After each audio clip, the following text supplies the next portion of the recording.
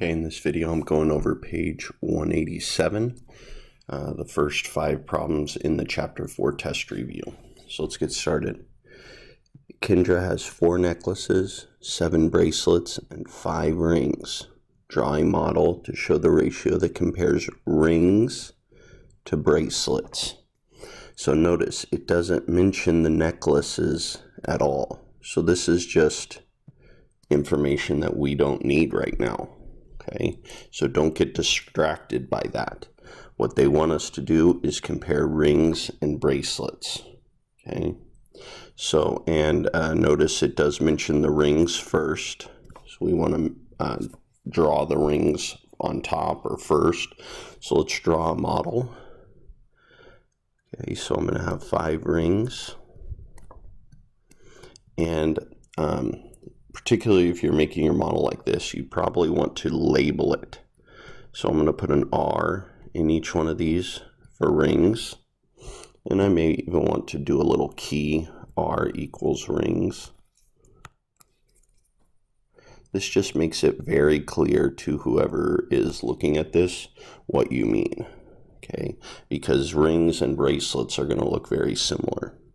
And then I want my seven bracelets. One, two, three, four, five, six, seven.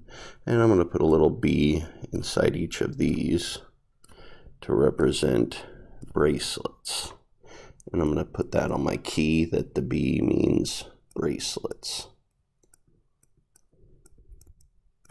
Again, this just makes it very clear to whoever is looking at it that you completely understand how to solve this problem um, and that you're showing the, the person looking at this that what represents what and that you understand what represents what. Okay, number two, three girls and two boys are taking swimming lessons.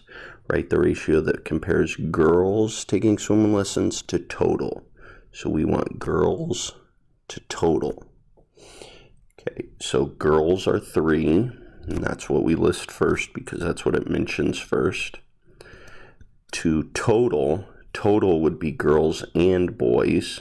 Girls and plus is a and is a word that clues you to add. Girls and boys gives you a total of five. So three to five would be that ratio. Girls to total.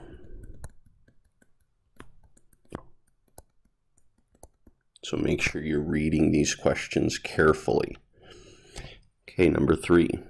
Lewis adds three strawberries for every two blueberries. Draw a model that shows the ratio that compares strawberries to blueberries. Strawberries to blueberries. So again, this is going to be very similar to number one.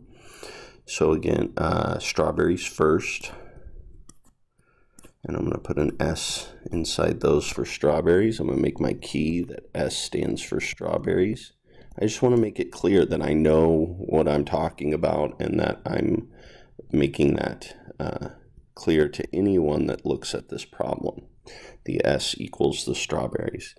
And then to two blueberries. I'm going to put a B inside there for blueberries and I'm going to label it.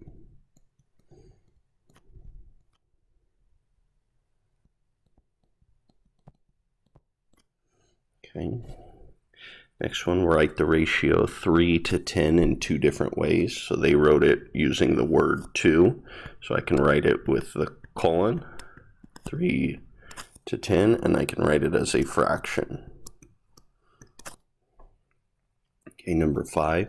Alex takes, 3 steps for every 5 feet he walks. As Alex continues walking, he takes more steps and walks a longer distance complete the table by writing two equivalent ratios. Okay, so he takes three steps, he's gone five feet. If he takes another three steps, that's six steps. He'll have gone another five feet, so that's going to be 10 feet. If he takes another three steps, now we're up to nine steps total.